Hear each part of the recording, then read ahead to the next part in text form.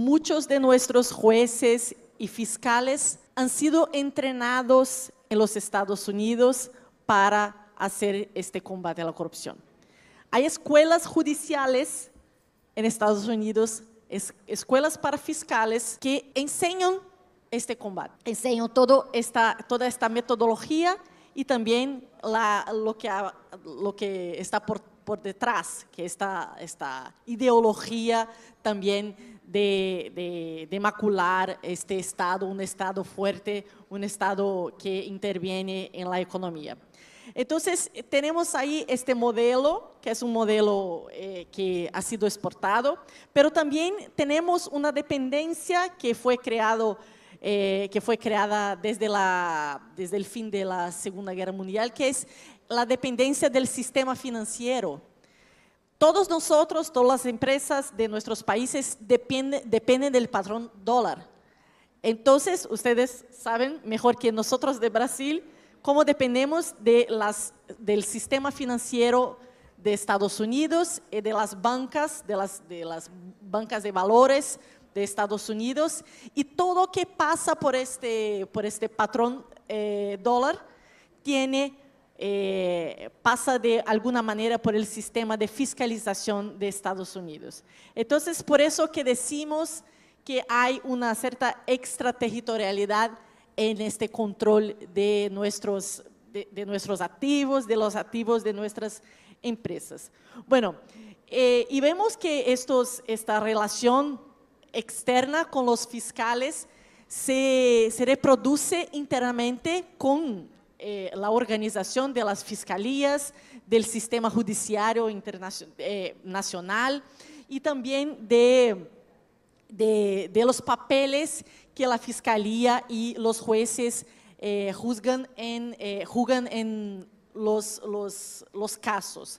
Bueno, tenemos los fiscales actuando como si fueran acusadores y jueces al mismo tiempo, no fiscales de la ley. Tenemos entonces un duplo papel de, los fiscales. ¿Qué hace el judiciario? Hace sentencias gigantes que nadie las lee. Eh, no hay pruebas, hay como una corrupción, hay como una, una convicción, pero sin pruebas.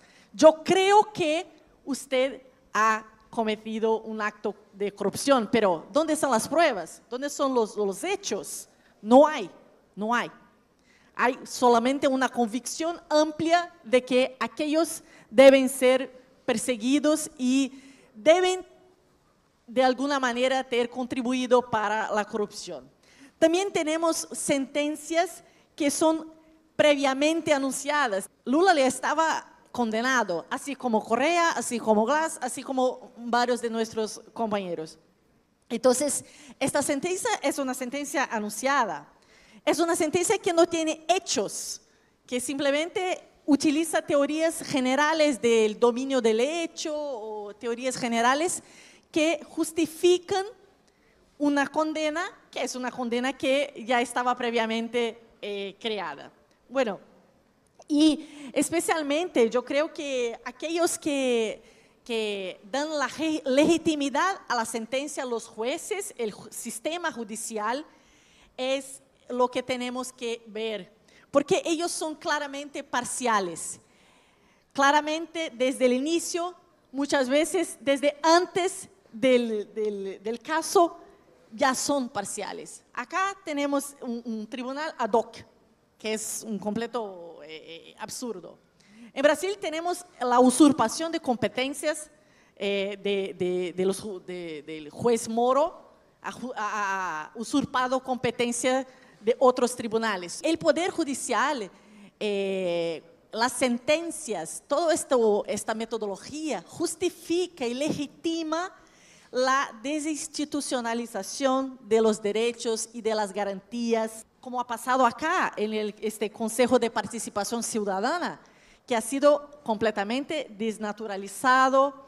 Entonces, vemos que esta desinstitucionalización de los derechos eh, eh, se da en espacios de excepción y de especialmente extrema derecha y extrema, extremo conservadurismo.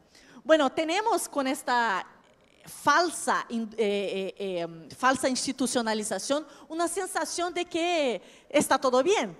Porque si el juez dice que está bien, ¿quién somos nosotros para decir que no? La población cree en la justicia. Nosotros que creemos siempre, esto, esto siempre creemos que la justicia va a llegar. Pero la instrumentalización de este sentimiento, creo también eh, la instrumentalización de esta fragilidad que tenemos en nuestras instituciones, eh, es la verdadera ofensiva en contra, eh, en contra de nuestros pueblos, nuestros gobiernos.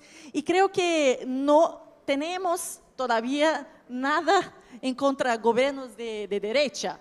Esto es una estrategia que tiene una dirección muy clara en contra de las conquistas populares, sociales que hemos tenido en las últimas décadas.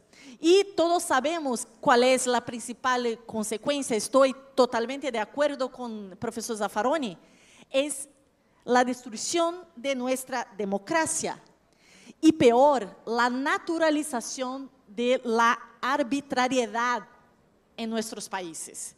El sistema judicial ha dado una legitimidad para la reproducción de, este, esta violencia institucional, política, social en contra, en nuestros pueblos y especialmente en contra los derechos políticos de, nuestras poblaciones. Entonces vemos que hay un patrón, hay un patrón de, eh, hay una modalidad de hechos y siguen este padrón.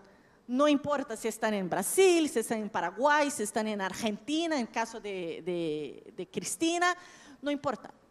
Hay este mecanismo que es un mecanismo muy eh, fácil de ser reproducido porque no tiene contestación, simplemente dice que son contra la corrupción y todo vale en contra de la corrupción.